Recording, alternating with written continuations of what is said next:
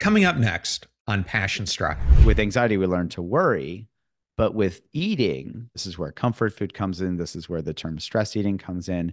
If we eat some food, our brain says, Hey, that tasted pretty good. Why don't you eat when you're stressed? And so we start to learn these habits of eating, not when we're hungry, but when we're stressed, when we're bored, when we're angry, or just simply when we see food, because it's like, oh, that looks good. Boom.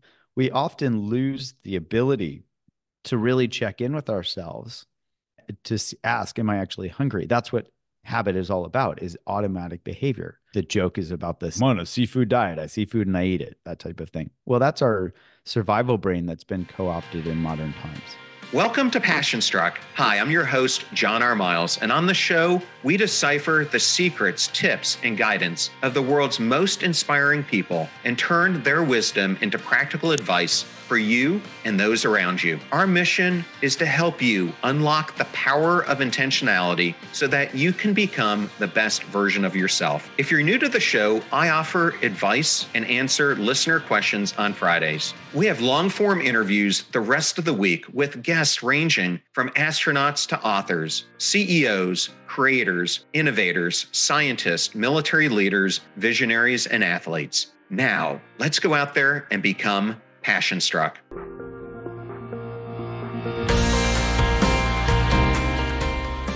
I am absolutely thrilled to welcome my friend, Dr. Jud Brewer, back to Passion Struck. Welcome back, Dr. Jud.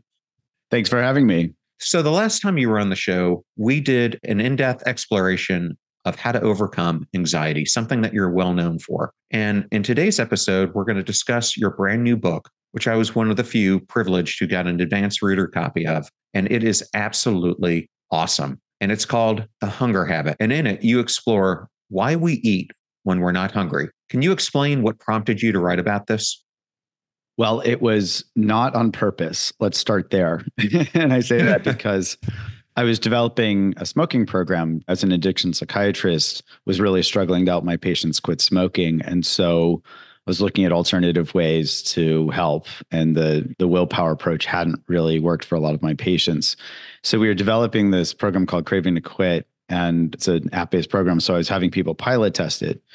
And when they were pilot testing it they were saying oh yeah i'm changing my eating habits. And i was thinking well, most people gain weight when they quit smoking because they substitute eating for smoking. So I'd made an assumption that they were just substituting eating for smoking. But somewhere in there, somebody said, no, no, we're actually, I'm using these same tools to change my eating habits in a good way, where I'm, I'm not snacking as much, for example, as I pulled my jaw back off the floor because, you know, wait a minute, I almost missed something huge here. That actually got me looking into how eating has shifted from an evolutionary mechanism that helps us survive. That one's still in place but in modern day to where we eat for all sorts of reasons, but none of them having to do with hunger. So we developed this Eat Right Now program. And long story short, as a researcher, as a neuroscientist, I want to understand how this stuff works. So we started studying it and learning all sorts of fascinating things. As you and I talked about at the beginning of the program, I'm going to offer myself up as a guinea pig today because I think, like many people who might be listening to this, I am someone who, although I look really fit today, I have had a lifelong struggle with my weight that started as long as I can possibly remember. It's interesting because you write in the book that the patients that you see as a psychiatrist are so helplessly out of touch with their bodies that they can't even tell if they're hungry or simply eating with their emotions. How prevalent do you think this is today? Oh, wow. It is so prevalent. And I'll just highlight this is, I learned so much from my patients. I didn't realize how prevalent it was until I started working with a group of women who all had binge eating disorder. And I went in with the assumption that they could at least tell when they were hungry. And long story short, that assumption was completely wrong. I don't know a single person in that room. I'm just thinking back to them I can't think of a single one that actually could tell the difference between what's now called homeostatic hunger, which is actual true physiologic hunger, and hedonic hunger, which is a term that's a misnomer in one sense, but also the scientific term that we use to study this phenomenon because it is so common. And hedonic hunger just means that we're eating because of something that is emotional, like pleasant or unpleasant. That's what hedonic is all about. Yet it has nothing to do with actual hunger. So that's where it's a misnomer. Yeah. So it's we're on the, the treadmill, but to eating all the time. Yes. So I am probably like most of the people out there that as I've seen dietitians or as I've gone to fitness programs, I remember doing the Orange Theory Challenge, which is one of the most recent one. Almost all of these things have been about people telling me that I needed to simply count the calories that I'm putting in and putting out, and that's going to make all the difference. Mm-hmm. But according to your research, that doesn't work. Yes. Now, to be clear, the formula is true. I learned it in medical school. Students still learn it in medical school, just calories out versus calories in. And the way I learned it in medical school is like it was a, a Newtonian law. Well, this is just what you do. And the, the lecturer just stated it as though it was fact. It is true. Yet they didn't say how you actually go about that. So if we look at all of these, and it's it generally tends to be some flavor of calories in calories out just with a new wrapper or a new label. It's like oh this year it's this diet this year it's this diet this year it's this diet. Yet all of them share some common element which is just use your willpower and do it. When it comes to doing it one of the things that keeps coming up on this podcast as a barrier to maintaining our weight are the simple things of sugars and breads or starches and also processed foods. Mm-hmm. How much do you think those are playing really into the problem, or is it really a behavior issue? I would say it's both. So, to set the stage, we have, and let's start with those pieces, but then let's go to how our brains are set up because those two interact with each other. So, in modern day, there's all of this engineering of food. I hesitate to call it food in some cases. Do you remember The Onion, that satirical journal? They had a headline that says, Doritos celebrates its one millionth ingredient. So we get a sense for how engineered this stuff can be. And in fact, RJ Reynolds merged with Nabisco at some point because their tobacco engineers could then shift their focus to food when when the tobacco industry got in trouble in the 80s. So this has been around for a long time. There are entire books dedicated to how people engineer things like bliss points and vanishing caloric density, which is just a fancy term. If you think of a Cheetos or something that melts in your mouth, you put this thing in your mouth and your body says, Oh, I just ate something. And then it's gone. And then, did I just eat something? No, it's gone. I didn't even chew it. And, and so try that again. you know? And then suddenly a whole bag of these things that's designed to melt in our mouth is in our stomach. And so the calories are there. It's just that our brain has been fooled. So I won't go on and on because there are people that dedicate their lives that to describe this, but you get a sense of it. There's the bliss point is perfect marriage, let's say, of salt, sugar, and fat, et cetera. So that's the context in which we are living. Another contextual piece that's important is the ready availability of food. We can we have food delivery, we have 24 hour restaurants and diners that are open for people that have the privilege of being able to eat whenever they want they can eat whenever they want. Because in the western world at least the food is there okay? So we've got ready availability of food and we've got engineering of food to make us want more. Somebody put it beautifully to me the other day. They said they were talking about uh, some type of candy and they said it tastes like more As in, couldn't really describe the taste because their brain didn't have a good category for it, but they knew that they wanted more when they ate one. And that's certainly been the case. I'm happy to talk about my addiction to gummy worms at some point if that's helpful. I think we've all run into those types of things. Okay, so we've got the taste like more and we've got the ready availability of taste like more. And also i'll just add most of these things have a shelf life of about a thousand years. So we can put them in our drawer we can put them in our car we can put them anywhere so that we have ready access to them. So that's the modern context. And we're going to pit that against our ancient brains. And our ancient brains were set up to help us survive with two main flavors One is we've got to remember where food is because there isn't food delivery. we had to go actually walk to the, couldn't even drive to get the food. We had to go walk somewhere and find it. And then we had to remember where it was. And this general flavor, I'll, I'll just go through it quickly. You and I've talked about this before with because the same mechanism is at play with anxiety. It's called positive reinforcement. Three elements: a trigger, a behavior, and a result. So let's say we're walking around on the savannah, we find the food, there's a trigger, we eat the food, there's the behavior, and then our stomach sends this dopamine signal to our brain that says, remember what you ate and where you found it.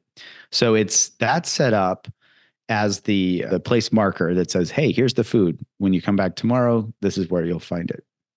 The negative reinforcement flavor of that works the same way. It's just that it helps us avoid things that are unpleasant. So if there's danger and we see that there's some a bunch of tigers over at this certain food source, we can remember, hey, let's avoid that. There's the behavior and then our reward is that we survive. We don't become their lunch. So that's our ancient brain. Okay. Now, when you bring these two together, let me just highlight that the ancient brain is set up to help us get calories when we need them and it also has this mechanism to pack on calories in case we can't find food for a while. So we when there's something that's a high calorie source, our brain says, "Okay, pack it in." And then so with with sugar for example, that's a really good source of calories. We'll take sugar in and then we'll store it as fat. And the idea is that's going to help us survive. And in fact, in not even super ancient times, being fat was actually a sign of prosperity, right? Because you're going to be more likely to survive a famine over somebody that's skinny. So that's the lay of the land. Now let's bring these together. This positive and negative reinforcement process that is very much at play in everyday life. This is how things like anxiety get set up because something unpleasant happens. Let's say that we get anxious or stressed and so with anxiety, we learn to worry. But with eating, this is where comfort food comes in. This is where the term stress eating comes in. If we eat some food, our brain says, Hey, that tasted pretty good. Why don't you eat when you're stressed? And so we start to learn these habits of eating, not when we're hungry, but when we're stressed, when we're bored, when we're angry, or just simply when we see food because it's like, oh, that looks good. Boom. We and we eat it. We're not even thinking about, oh, I'm hungry. We often lose the ability to really check in with ourselves to ask, am I actually hungry? That's what habit is all about, is automatic behavior. The joke is about the seafood. I'm on a seafood diet. I see food and I eat it, that type of thing. Well, that's our survival brain that's been co opted in modern times. Yeah, it's a really interesting discussion because what you're really talking about is that the traditional approaches of willpower, measuring, self control that we hear all the time are not how we're going to address the issue. It's mm-hmm. instead to get rid of these unhealthful habits. And you're right. Uh, through centuries, we were hunter gatherers, and that's how our metabolism was created. And now we have so much readily available to us that we don't fall into that pattern anymore. It's something for me that's worked, I think, to counteract this is I've been doing intermittent fasting now for mm-hmm. about seven years. And but it's interesting because I am in a couple group of friends where we like to go cycling and they like to cycle for about 10 miles, stop and get breakfast, and then cycle back, which I don't understand the reasoning behind it because I don't want to cycle with food in my belly, but I've been sitting there for years now as they eat, having a cup of coffee or a glass of water. And they're like, Aren't you hungry? Doesn't it drive you crazy watching us eat? And I'm like, No, I'm actually not hungry. So yeah. I don't yeah. break the fast until I feel hunger. Right. And I'm still hunting and gathering. But it's interesting because, except for one of them, the rest of them have these unhealthy eating habits and probably eat too much, which we fall into. So, can you maybe take us down another scientific element of this on explaining the process of how food habits are actually formed in our brains? Would be happy to. And so, if we look at this survival mechanism, the healthy habits are the ones where we're in touch with our physiology. And we've learned basically all we need to learn is what food is going to give us calories and what food is going to kill us. So, we have a very good mechanism or detecting rotten or poison pretty quickly. I'll just geek out on this a little bit because I love this, how this works. so let's say that we eat some chocolate or some berries or something like that. And if you think about eating chocolate, you, if you're really paying attention, you just let it melt in your mouth and you taste it and you're like, this, there's this note and this note. And then let's say that we eat some food that is rotten that is ejected from our mouth before we're even consciously aware of it. And then our consciousness comes online and it's like, that was rotten. And so notice the just the time scale of that, where it's what's the one that uh, is it cyanide or arsenic that tastes maybe it's arsenic that tastes like almonds or something. So it's like, oh yeah, cyanide does taste like almond. Wow, that's so interesting. That's out of our mouth because of its very bitter flavor that says, hey, don't be ingesting this. We don't have time to even think about it. So I just love how exquisitely evolved or designed our brains are to be able to detect all of these things to help us survive. That mechanism is at play. And then, so that's the healthy habit, right? The other part of the healthy habit is that when we pay attention when we eat, we stop when we're full because our stomach and our body tells us, hey, that's enough. Okay. The unhealthy aspect of things are when we start to lose connection with our bodies. So, whether it was the clean plate club that we learned as a kid, eat all the food on your plate before you get dessert, our parents were unknowingly actually training us to overeat. Uh, and the reward was that we'd get dessert where we got to eat even more. Everything on your plate before you get this treat. So we've learned to overcome our natural body signals so that we are eating beyond satiety, we're eating beyond fullness, and we're also eating in the absence of hunger. So we go to the movie and it's not like our parents when we're kids it's not like our parents were saying okay don't eat anything because we're going to go fill up on popcorn. You know at the movie theater. They're like most of us didn't go to the movie theater with an empty stomach. So we go to the movie theater and we learn to associate like the butter and the salt and the the flavor of popcorn with a good time because we're at the movie theater. It was a big treat for me to go to the movie theater. And I still remember they ask you how many squirts of butter do you want on your popcorn, and they'd go squirt, squirt as they turned the tub around. you know?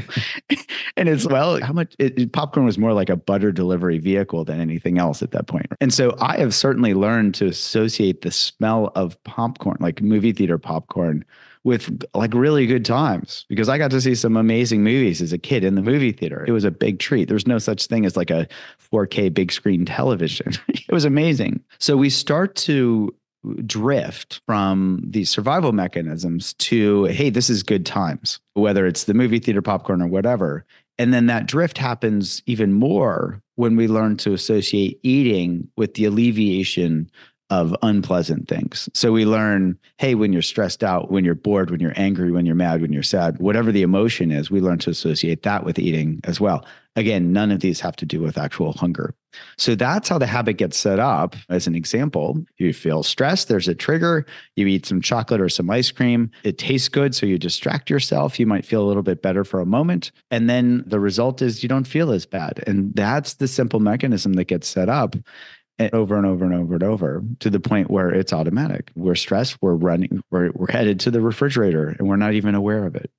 So it sounds like what you're talking about is our eating habits are just like any habits that we have. It would be just as bad as you arsoning the very aspirations that you have by continuing to do harmful habits that are keeping you from your goals. So yes. I think what you're saying is that if you want to break these eating habits, and I know you don't like to call habits bad.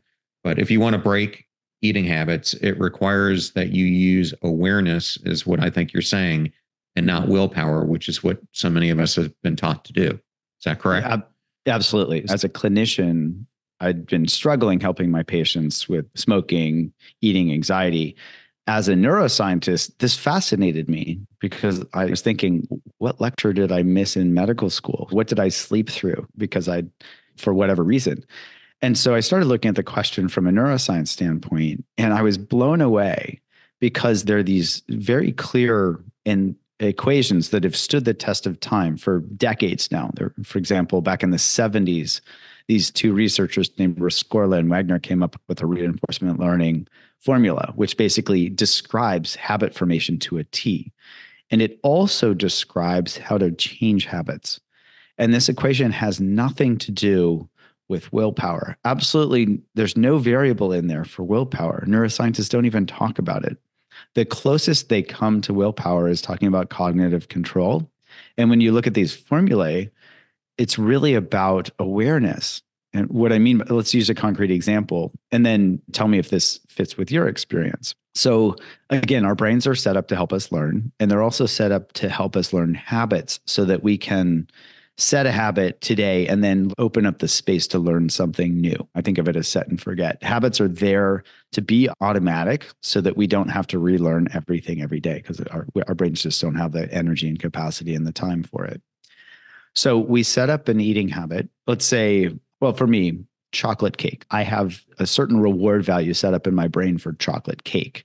And there are different types of chocolate cake. There's the flourless torte that's really, it's basically like a chocolate bar. You can think of all the different types of chocolate cake. And so I've got a reward hierarchy in my brain for which types of chocolate cake I like the most and which I like the least. Like the chocolate cake from a box where you just add water and an egg and mix it and cook it low on my list. Let's just put it that way.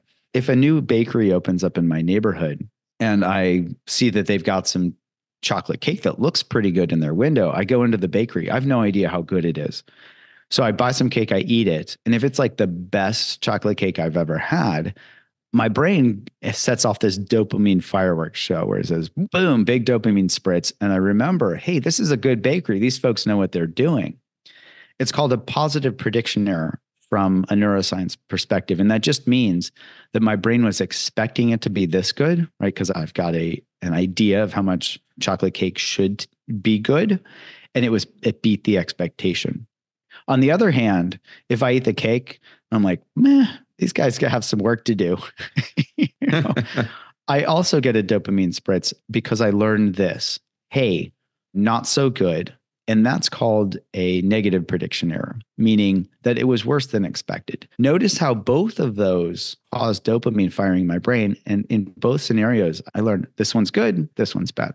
This one I prefer, and this one I per- don't prefer. Like you said, I, uh, good and bad are just ways that we judge the world. And so I think of it as our survival brains are out there trying to say, hey, this is helpful for survival, and this is not helpful for survival and it helps us not just label things as good and bad and then we're really good at judging things anyway so let's not judge ourselves for our habits you know? okay so notice how that only requires one thing which is awareness so if you pay attention as you eat your wise brain and body are going to tell you everything that you need to know now that might sound overly simplistic and i'm not saying it's as easy but from a neuroscience standpoint, this is critical. We have to know how our brains work. If we don't know how our brains work, we're not going to be able to work with them. And just as one example, we did a study. So we developed this Eat Right Now program and done a, there are several studies on this now, which is part of the foundation of the book. We asked this simple question like, how quickly does somebody's reward value change in their brain, in their experience? And we basically what we did was we had people we developed what's we call a craving tool. When they're craving a food like an amount or a type of food we had them basically pay attention as they ate the type or the amount of food that they were craving. And then we could measure how quickly that reward value changed. So ready for this? It only took 10 to 15 times of somebody overeating for that reward value to drop below zero so for people who habitually overeat, all they had to do was pay attention. As they paid attention, their wise body told them, Hey, this is not so good. Are you sure you want to overeat? And it's not about thinking, because everybody knows that overeating is not healthy for them. But this was doing something different. Instead of thinking, they were feeling what it felt like. They were feeling the results. And that's exactly what these equations predict that if you pay attention, the reward value changes. And this can happen pretty quickly. Our brains are tremendously plastic in the sense that they can change, they can rewire, they can change synapse strength, they can change dendritic density, all these types of things with receptors on our axons and our dendrites where we can we that's how we learn that's how we change behavior and it makes sense from an evolutionary perspective we don't have time to be chased 20 times by the tiger to learn that it's dangerous. We have to learn things pretty quickly. And the critical ingredient there, again, is awareness. So, Jud, I just wanted to ask you that through a different lens. So, I think one of the biggest issues I personally have, I think it started when I was at the Naval Academy, is I eat way too quick. When I was a plebe, what we end up doing is you're sitting there and you're having to, in a right angle, put the food in your mouth. And like every time it gets right to your mouth, the upperclassmen ask you a question. So you put it down and you get about two minutes to eat once they leave the table and you're just jamming as much as you can get in before you have to go to class. But it's set up this pattern for me that I eat, I think, way too quickly, especially as I mm-hmm. observe others. I'm sure this is something that maybe it happens to other people. How can you break that habit? Yes, it's very common. Here, I think once we understand how our brains work, we can learn to work with close to any context in which we're put. So, for example, you just may not have time to eat at a pace that allows your body to register how much you've eaten. And that time frame from the research suggests that it's 15 to 20 minutes to register uh, fullness, basically. In an ideal world, we'd eat slowly enough so that we could start to register. We'd give our bodies that time to say, hey, okay, you've had enough. And for any of us that have had time to do that, it's pretty straightforward, right? Our body says, okay, that's enough, uh, assuming that we're paying attention. In the situation where we don't have time, and I think that's a great example of one, we can actually use the, I call this in the book, we talk about retrospectives, where we look in the rearview mirror and we ask, okay, what and how much did I eat? And was that enough, not enough, or too much? And so if you had to run off, if you had to eat your food in two minutes and run off to class, 20 minutes later, as you're sitting in class, your stomach could tell you, hey, that wasn't enough. Hey, that was too much. Or hey, that was just right. We still have the ability to check in and then learn from it. We have to learn to associate, this is called reinforcement learning. We've got to learn to associate the behavior with the result. So, again, that takes awareness but that awareness can come in ret- retrospectively as well. So, do you think something like that would apply if you'd known this? Something like that could apply to your situation? Yeah, I think it would. And oftentimes, I think because I eat quickly, I don't allocate myself the time to eat slower, meaning I know how long it typically takes me to eat. So, for me, a lunch break is probably shorter than some people because I know I'm going to consume the food faster. And I'm wondering if I just set a longer period for me to do it, if it would start changing my outlook on how quickly I'm consuming it. Yes. And so if not everybody has the opportunity to do that. So I just want to highlight a lot of people, they don't get a lot of time for lunch, or sometimes they're not even given a lunch break. If you were able to allocate your a little bit more time, you, would see it doesn't mean that you have to take a two hour lunch break. it can happen if we know how the process works. Probably 30 minutes is plenty to give ourselves time to consume and also to wait to check to see is that been is that the right amount today because it also changes right if one day we're exercising more or didn't get a chance to work out or something like that those caloric needs can vary from day to day well, what you and I have just been discussing is the beginning aspects of your book. And then in it, you go through a 21 day challenge, which you separate into three different parts of the book days one to five, days six to 17, and then days 17 to 21. And I was hoping we could start by maybe having you introduce an overview of the 21 day challenge and what it aims to achieve. I'd be happy to. So, this is really based on a lot of work we've done over the last decade in my lab, where we've done qualitative research and focus group interviews. Because we'd seen, so for example, in one study, this was led by Ashley Mason at UCSF, with our Eat Right Now program, there was a 40% reduction in craving related eating.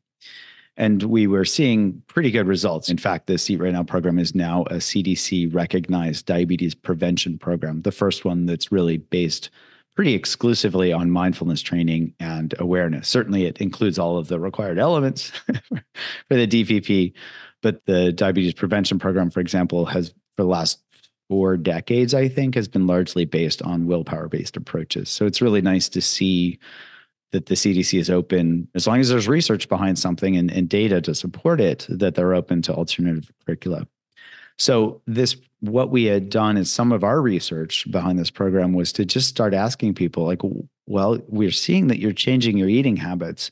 A lot of people were losing weight when they just by paying attention because they're like oh i don't need to eat as much.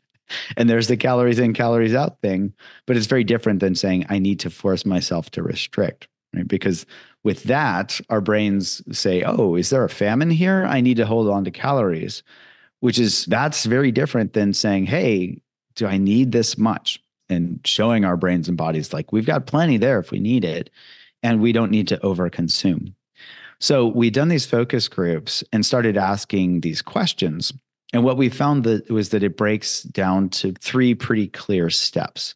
The first step is just becoming aware of the habit loop or even breaking that down or simplifying it even more what's the behavior? Am I eating because I'm hungry or because of some other hedonic reason, an emotion or boredom or whatever?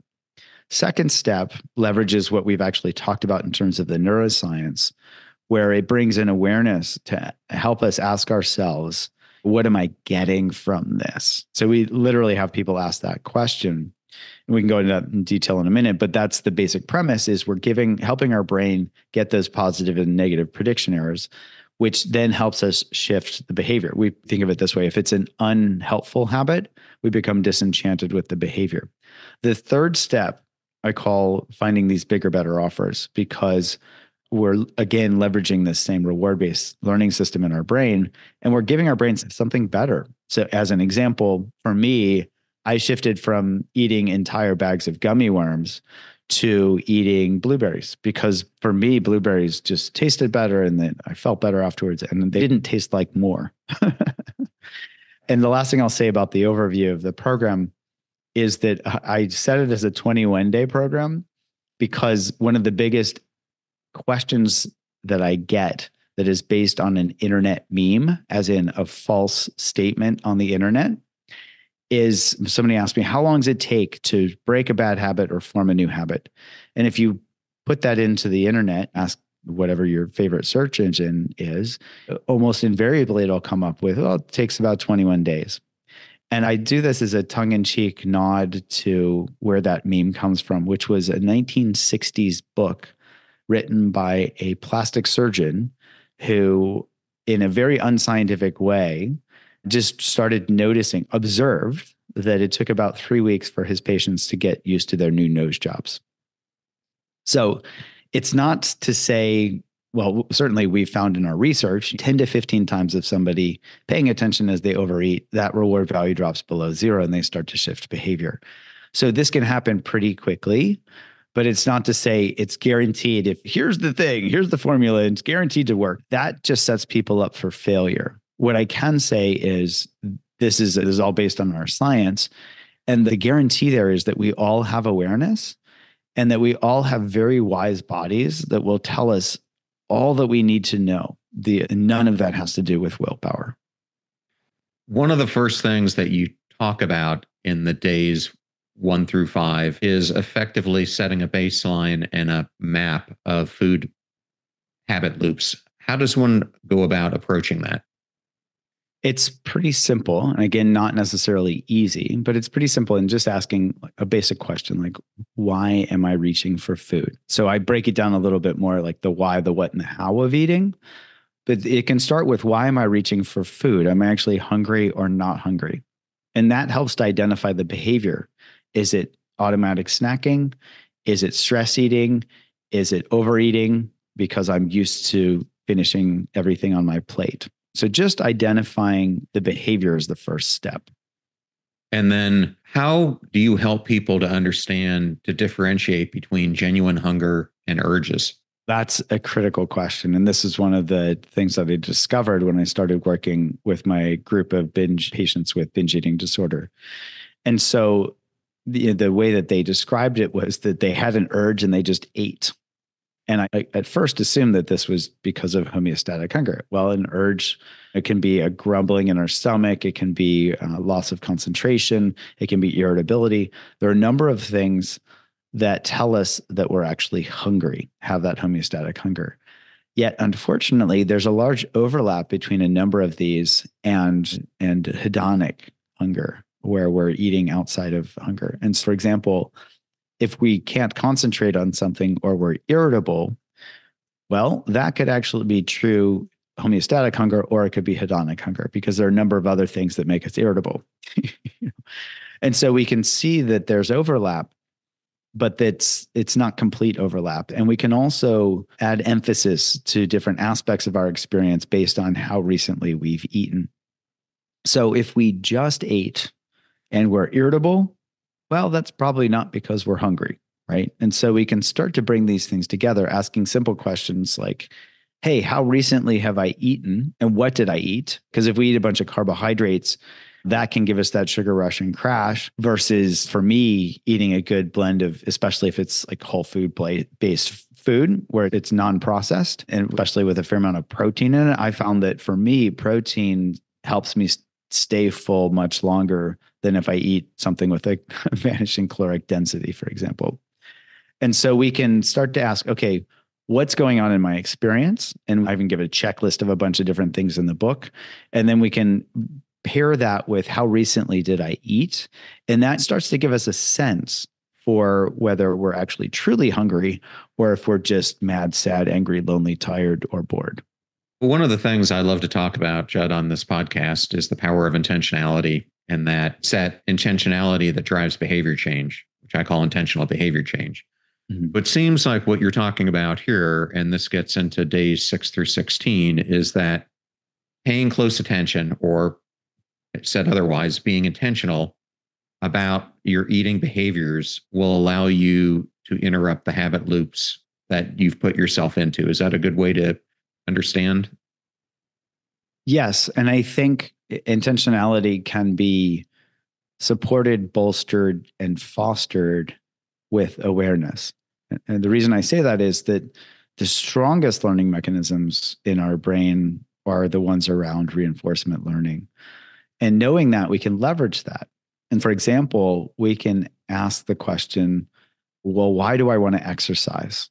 And we can say, well, some social media influencers said that it's a good idea or they look good. So we can base it on external things like, oh, I think I should exercise. This is where the shoulds come in, that joke we should all over ourselves, right? I should exercise more. Or we can also ask this question well, what was it like the last time I exercised? And that can help us draw on our own direct experience and our own direct learning. And for me, when I exercise, it feels pretty darn good afterwards, especially, and even during. Like I love the active exercising. For a lot of people, they're like, well, I make it through it and then I feel better. So it really depends on the person and also the exercise. So ideally, we find something that we really love to do and it, it fits with our lives and our circumstances. But uh, let me ask you that question like after a bike ride and even during a bike ride, how's it feel? Well, that's one of my favorite activities to do. So uh, that's something that I look forward to doing. Sometimes it's painful while you're in the act of doing it. I'm not mm-hmm. going to lie there. Right. But then right. afterwards, you feel great uh, because you've accomplished something that you put your mind to. But even more than that, I, for me, I get the anxiety out of my system. I like to get that sweat in. But there are days like today, I did a, a 6 a.m. spin class, and it sometimes is hard to get yourself motivated to do it. Oh, but yeah. once you push through, boy, does it set your day up better. Yeah. So notice how the setting your day up better is a great way to motivate you and provide that intentionality simply through your own direct experience, right? So you set yourself up. We call this and a woman that I highlight her story in, in, the hunger habit describes it as setting up a you develop a, a disenchantment database or data bank she describes it where you become disenchanted with unhelpful habits but you can also deposit those gold coins in an enchantment data bank that says wow exercise feels pretty good and that actually uh, goes right into the third step, which is finding these bigger, better offers.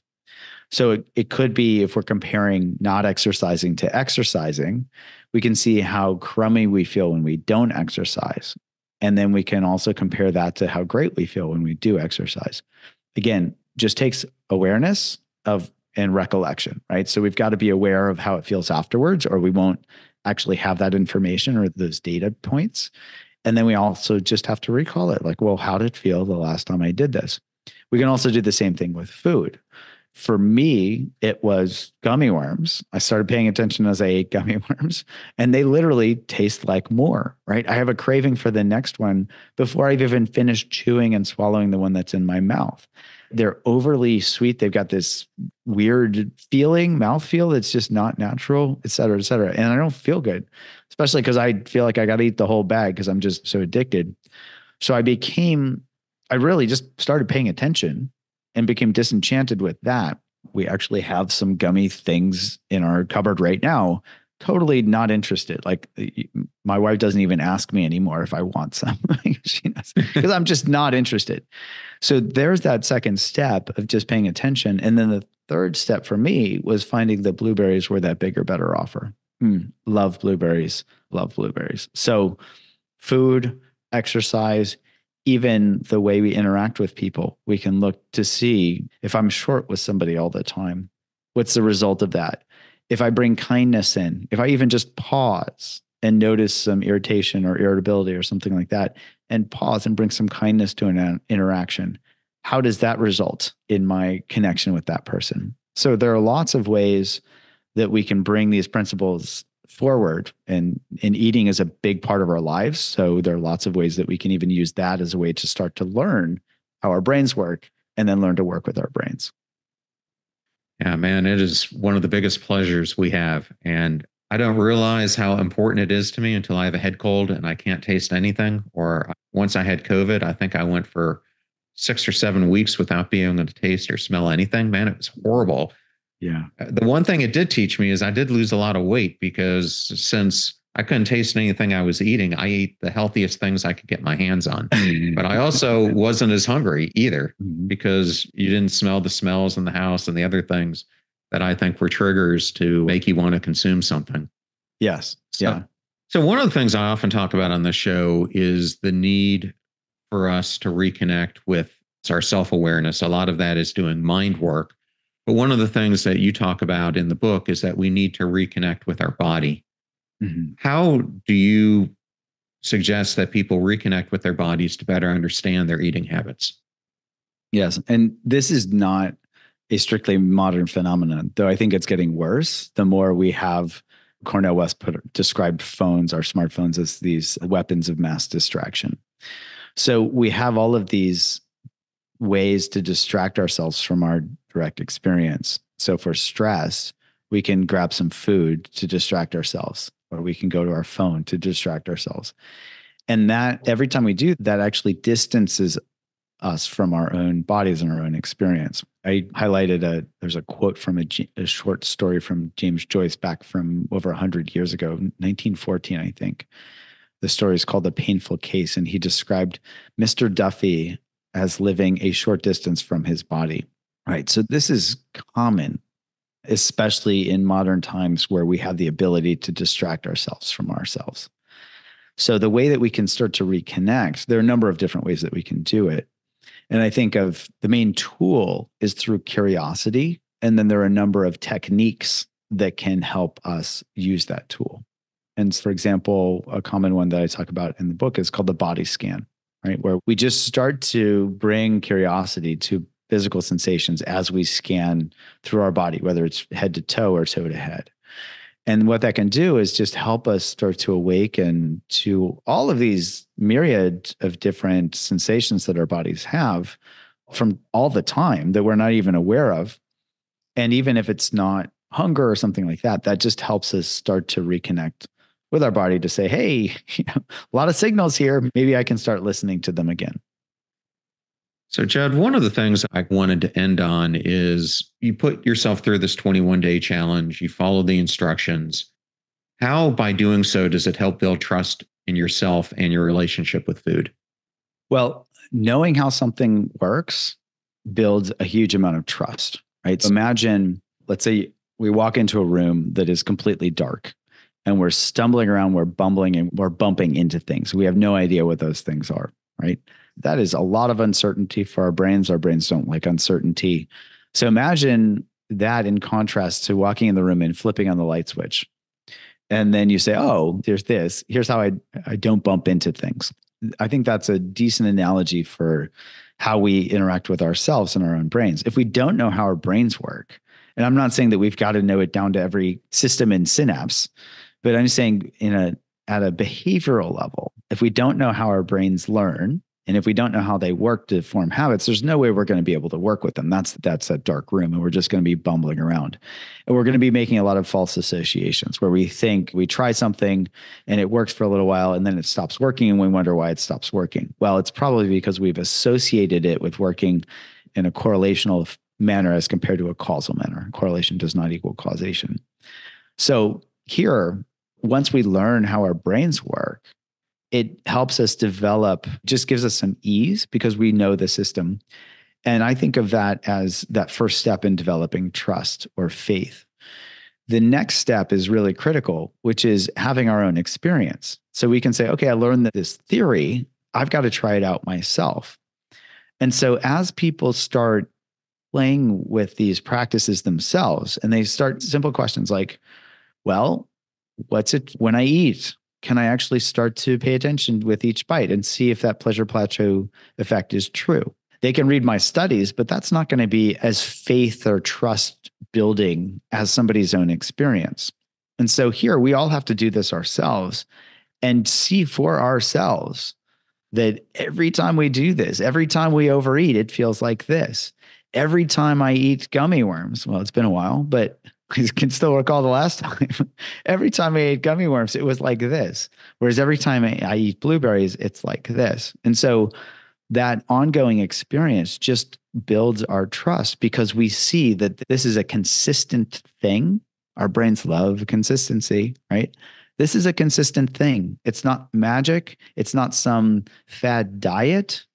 It's awareness, it's curiosity. And it's also uh, the kindness we bring to ourselves because we're truly caring for ourselves as compared to just scratching that itch of indulgence. I think of it as meeting our needs as compared to feeding our wants, which is feeding our wants is all about automatic habitual behavior. Meeting our needs is really bringing that awareness in and asking, what do I need right now? And then looking at the results of how we meet that need. Thank you for being here today and congratulations again on the hunger habit. I highly encourage the audience to pick up a copy of this book. We've just gone through a small aspect of the jewels that are throughout it. And I always like to give the guest an opportunity to share where's the best place for listeners to learn more about you. Oh, sure. So I have a website, drjud.com, drjud.com, that has links to the books and a bunch of free resources and to our apps as well, if folks are interested in checking any of those things out. I'm also on Instagram at dr period jud at Dr. Jud. Yeah, thank you so much again for coming on the show. It's always such an honor to have you. It's really been my pleasure. I thoroughly enjoyed that interview with Dr. Judson Brewer, and I wanted to thank Jud and Portfolio for the honor of having him appear on today's show. You're about to hear a preview of the Passion Struck podcast interview that I did with Robert Sutton, a distinguished Stanford professor and best-selling author. Bob is recognized as one of the 10 B School All-Stars by Business Week, and his influence extends far beyond the academic realm, reshaping contemporary business thinking. In this episode, we dive into his revolutionary new book, The Friction Project, which is about the friction that we all know exists in every single organization. Our discussion guides listeners on how to become adept friction fixers, enhancing workplace efficiency without exasperating the problems. There's this notion that sometimes there is good friction because it forces you to slow down and think. And other times there's bad friction where you just drive people crazy who are just trying to accomplish something simple they just want to get done. So our book is about how to tell the difference between the two. And, and once you figure out whether you want more or less friction, how you deal with that challenge. The fee for this show is that you share it when you find something useful or interesting. If you know someone who's struggling with their eating habits, then definitely share this episode with Dr. Jud with them. In the meantime, do your best to apply what you hear on the show so that you can live what you listen. Until next time, go out there and become passion struck.